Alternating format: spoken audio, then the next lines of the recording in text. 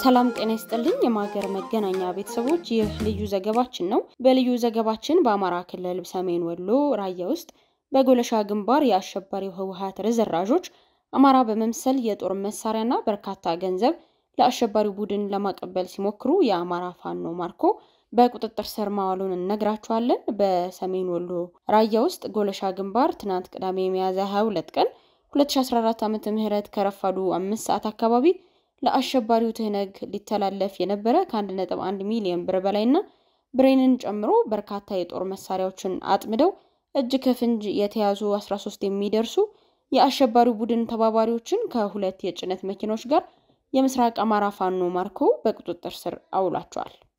ይህ ድርጊት በሚፈጸምበት ጊዜም የማገር መገናኛ ቡድን በቦታው ተገኝቶ ነበረ። ቡድኑም የተማረኩ የገንዘብ የጦር መሳሪያዎችንና የሽብር ተባባሪዎችን ተመልክቷል።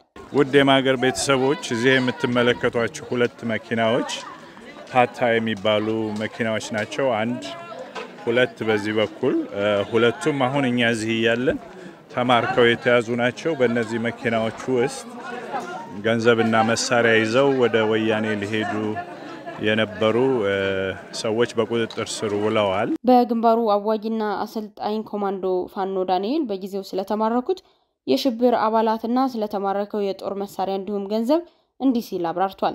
እነዚህ ሰዎች አሁን ዛሬ የያዝናቸው የእኛ ድንበር አልፎ እስከ ማጨው ድረስ ይገነጠላል ራያ ከዛ ናቸው። አሁን እዚህ አዲስ ቀኝ ኦር እንደገና ደግሞ በዚህ በድንጋይ ቀበሌ የዛ ተወላጆች ናቸው። እኛ ከኛ መስለውን ነበረ፣ ግን ስናያቸው ለጥላት ለጥላት ብር የሚያቃብሉ ናቸው።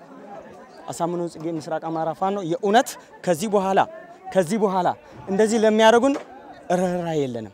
በስፍራውም የምስራቅ አማራ ፋኖ መሪ የሆኑት ሻለቃ ምሬ ወዳጆ ወይም ዋርካው ከማገር መገናኛ ጋር ያደረጉትን ቃለ ምልልስ በሌላ መሰናዷችን ይዘን እንቀርባለን። በሌላ በኩል በወልዲያ ከተማ ያሉ በርካታ ወጣቶች በፋኖ ስልጠና ወስደው ስልጠናቸውን እያጠናቀቁ እንደሚገኝ ተገልጿል።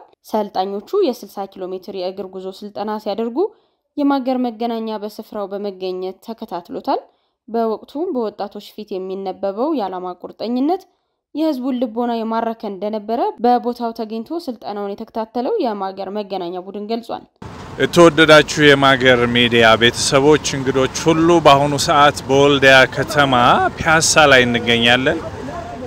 ከኋላችን እና ከጎናችን እንደምትመለከቱት ከባድ የሆነ የፋኖ ሰራዊት በእንቅስቃሴ ላይ ነው። ይህ እንቅስቃሴ ምን እንደሆነ ከጎን ያለው ወንድሜ ይነግረናል።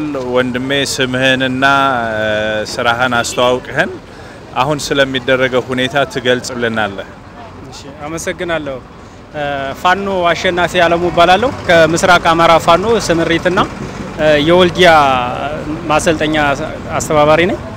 እየሆነ ያለው ምንድን ነው እንግዲህ ወልዲያ አካባቢ እንግዲህ የአማራ ህዝብ የተደቀነበትን የህልውና አደጋ ለመቀልበስ የአማራን ህዝብ እንግዲህ በማነቃነቅ ግንባር ላይ የሚዋጉ ሰራዊት አለን።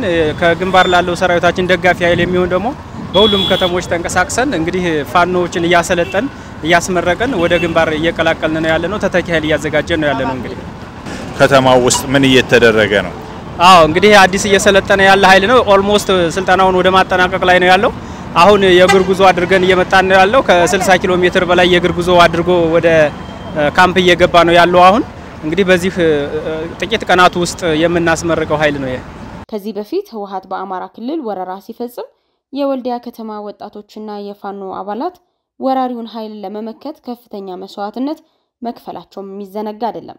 በተጨማሪም በሰሜን ሸዋ ምንጃር፣ ወለንጭቲ፣ በሰት፣ ፈንታሌና መተሐራ ወረዳዎች ላይ በአካባቢው የሚገኙ የማገር መገናኛ ምንጮች መንግስት ሸኔ እያለ የሚጠራው ቡድን በተለያዩ የድንበር አካባቢዎች ላይ በመንቀሳቀስ ማንነትን መሰረት ያደረገ ግድያና ዝርፊያ እየፈጸመ እንደሚገኝና ቡድኑ ወደ አማራ ክልል ጥቃት ለመሰንዘር ከፍተኛ የሆነ ዝግጅት እያደረገ እንደሆነ እንዲሁም በአካባቢው ያለው የፋኖ ኃይልም ጥቃቱን ለመመከት በቂ እንቅስቃሴ እያደረገ እንደሚገኝም ተናግረዋል።